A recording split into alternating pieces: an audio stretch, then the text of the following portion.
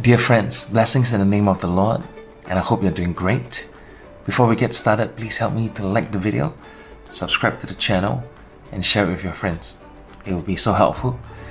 It's my aim to produce good Christian content for you. Today, the question is this Why am I joyless? Why am I joyless? Even I know as a Christian that Christians can have real joy. Joy is different from happiness. Happiness is just temporal feelings of elation. But joy is something deep down. It's the inner man, it's the inner soul. It's within the heart that the Lord can grant us real joy. So Christians can ask, you know, I used to have that joy, but why is it missing? Why it seems like the joy of the Lord is no longer my strength? Why is it as if joy has disappeared from my life? And I want you to take a few moments to really examine what's going on in your own personal life, in your own journey, because there's always reasons for certain things that happens. It's really a cause and effect. When it comes to so spiritual things, there are causes, there are effects of it. And joy is no different. So I want you to consider one verse right now, and this would really help you to see certain things. This is found in First Peter, chapters 1, verse 8. This is what it says. Peter writes, Though you have not seen him, referring to Jesus, you love him. Though you do not now see him, you believe in him and rejoice with joy that is inexpressible and filled with glory. Did you did you catch what Peter said? Let's look at the verse again. He says, Though you have not seen Jesus, you love him. Though you do not now see him, you believe in him and rejoice with joy that is inexpressible and filled with glory. Peter is saying something really vital here. If I were to give you a summation of what he's saying is this love for Jesus and faith in Jesus leads to real joy. You catch that? Love for Jesus, faith in Jesus results in great joy. To make it even shorter, love and faith in Jesus will result in joy. Now, some of you would say, but I love Jesus and I place my faith in Him. Then the question would be, where is the joy then? If you really examine your life, perhaps truth of the matter is that you're losing your first love. Your faith in Christ might be waning.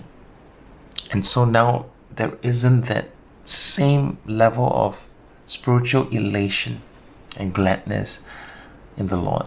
Perhaps in the past you had excitement to read the Word, you were just very much into God's kingdom, you were really looking forward to the next sermon to hear, excited about the things of God. But perhaps now you are beginning to be lukewarm, beginning not to be excited, not keen on spiritual matters. And if that's the case, it's no wonder why joy is fleeting from you. It's very clear. I mean, First Peter 1 8 gives us a very big understanding of joy, right? It's the love for the Lord, it's faith in Him that creates real, lasting joy. You say, Pastor, it sounds so simple. It's not that simple. I mean, that's the understanding, but the complexity comes when we are not growing in love and faith for Him. That's where the real complexity comes. Because you are saying, but I know so much religion, but how come I don't seem to really connect with Lord? Or how come my faith seems to be shaky, not really built up strong? And there are always reasons for that. And here are some suggestions that I pray would help. It really comes back to the very core basic foundations of our faith, which is every day read our Bibles, pray every day. That's it. From there, it should not be a perfunctory transaction with the Lord. It should be a loving relationship with God. You read His Word and you pray to Him, there should be a real connection there. If you say, Pastor, I don't see that connection going on, then you have to really come before the Lord and tell Him, Lord, I have lost joy. Perhaps I'm really losing love for you and faith in you. And God, I need to regain something that I used to have. For some of us, we might even say, Lord, I've never had that. I've seen the Christian religion as just a religion. I don't really see it as a real connection with you. You always seem far off, and I don't know your heart. I, I don't really know you. Then cry out to Him. He's waiting for you to cry out to Him, and He will respond. If you draw near to God, He will draw near to you. Just want to give you maybe one or two final thoughts about joy. See, joy is not an emotion, and joy is not based on feeling. Joy is based on the fact and the truth that Jesus is the Son of God, that Jesus loves you and paid the price for your sin to die on the cross. Uh, Jesus promises you many things in the Word of God, and He's your older brother, He's your friend, He's your master, He's your Lord. And all those relationships with Christ produces real joy. If we are seeing it only religious, then it turns out to be legalistic. The laws and commands of God will be stifling. His burdens will not be light to us, but will really be burdensome. Um, everything about the kingdom of God will not produce real, genuine desire. Right? Instead of hungering and thirsting for the things of God, if you and I are hungering for the things of this world, it's no wonder why we're not satisfied. How do we be satisfied with the things of this world when God tells us to be truly satisfied in Him? Our true, deepest satisfaction will be found in intimacy with the Lord, communion with the Spirit, reading of His Word, knowing Him. And if you say, but I don't sense all those things, then well, get going though. Read the word, pray, seek his face, and ask for the Lord to bring about a holy visitation. And you know, when the Lord begins to move and wool your heart and begin to pierce in deep, you're going to see so much joy, peace, patience, kindness. These things are in the Word of God. These things are true. God is not a liar. God is always telling the absolute truth. So you and I can trust Him.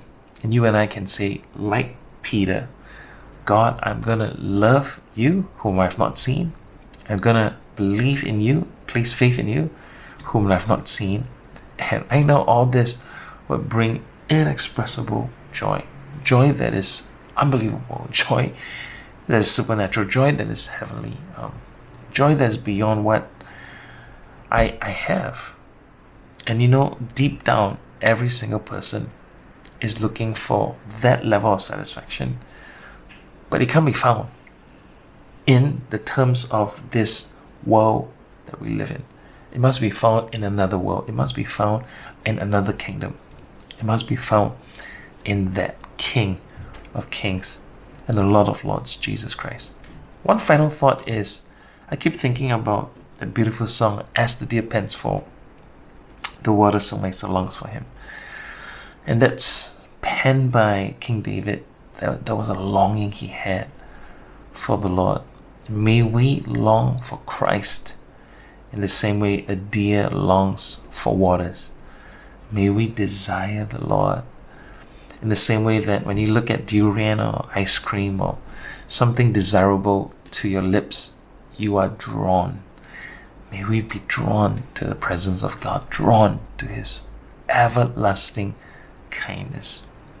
Well, God bless you as you consider these things. If you are losing joy or you do not have joy, then today is the day you begin to seek the face of God to experience more joy, more love, and more faith in Christ. God bless you. I'll see you for the next video. God bless.